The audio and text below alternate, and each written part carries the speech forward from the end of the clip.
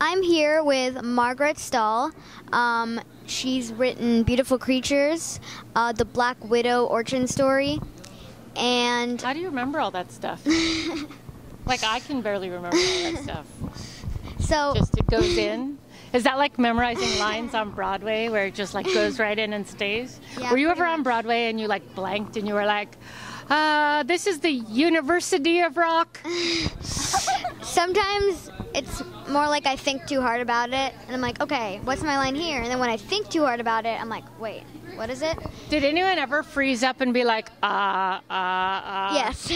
And then what happens? um, somebody will ad lib, Oh. come up with something. and kind of save the day. Yeah. Oh, I love that. All right. Okay. Just you're more interesting than I am. I am not the star of a Broadway musical, and Theo has made movies, and I've done nothing but write books. So for, forgive me if I start interviewing you.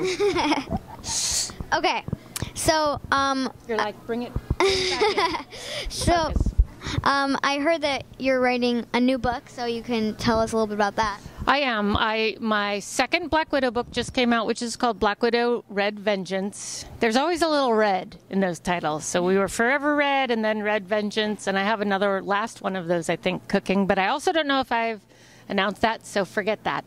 Um, I have a really funny, weird book that's not like anything I've ever written, but it's a lot like my life if you know me. That's called Royce Rolls um, that's about the kind of idea.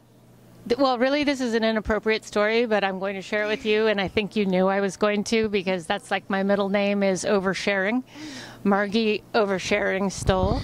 But I woke up one day and there was Kim Kardashian's butt in the news again, and I was like, oh my gosh, I can't believe I am sitting here hearing a news headline about Kim Kardashian's butt, like it had gotten bigger or smaller, I don't remember. And then I was like, I would die if I was born into a family like that. Like, what would I do? I don't even, I don't even barely have, you know, mascara. Like, I couldn't do any of those things. And then I was like, oh my gosh, what would happen if I was born into a reality show family? So then I started writing a book about what would happen if someone like me was born into a family like that. Spoiler, it's not a great fit. But um, so that's like a wacky uh, story that I just ended up writing, and I don't even. I was writing it for me, like for fun, and I haven't really done something that like just for me in a long time. And then um, it ended up through a series of strange happenings getting published. So that book is coming out, Royce Rolls. So it's an LA story. And I feel like everyone who lives in LA has an LA story. So by the time we have this talk at YALLWest, it will be out. How weird is that? Wow. Sounds And, exciting. um, but the other big thing I'm working on all the time is the Captain Marvel comic book, which my, um, my issue zero. So they rebooted it for me. So the issue zero with the artist named Ramon Rosanas starts in December. So I'm really excited about that and really scared, obviously, because it's not like a book that comes out and you can hide from those reviews like that. People tell you if they hate you every month or if they love you, but that's not the way my brain works. So yeah. Anyway, that's what's going. Mostly, I'm here at YALLFest with you guys, which is like my happiest place on earth. Is it yours? Yeah. Almost. Yeah. Is Broadway your happiest place on earth? Well, I mean, Happiest and hardest? yeah, but now we're Now done with done. it, so Are you is back now to my school new. now? Like Uh, a like almost. a child? on Monday.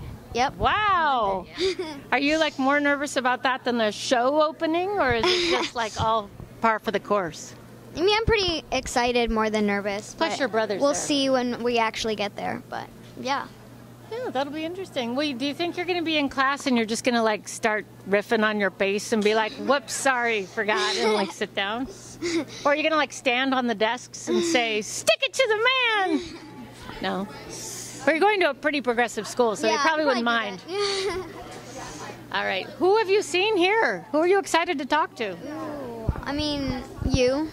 Of course. Uh, Look, all these famous authors are walking by. wow, awesome. Yeah, there they go. Hi, famous authors. There they are. Um, Back over here. Back over here.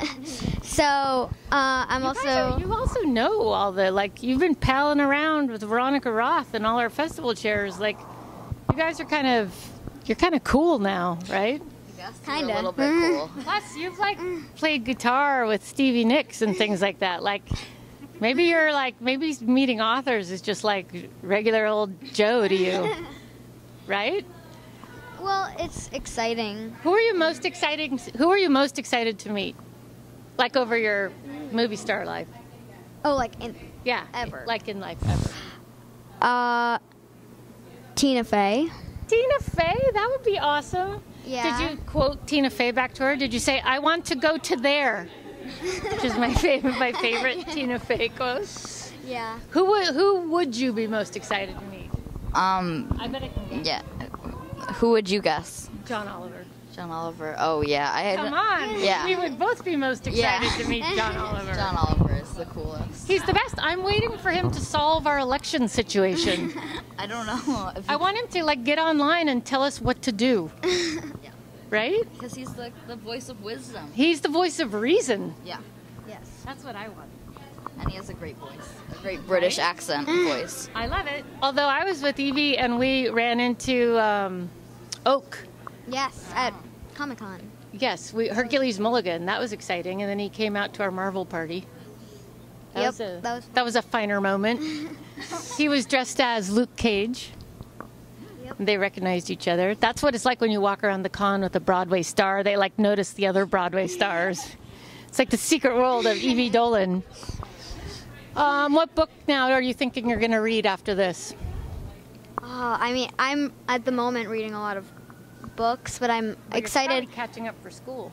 Yeah. Um, but they're like now that I like watched all these panels, there's like so many new books that I want to read That now. sci-fi fantasy panel was the funniest panel I've ever seen. no, I know. I want to read every single. you should book. interview Leigh Bardugo. She's the funniest person on earth.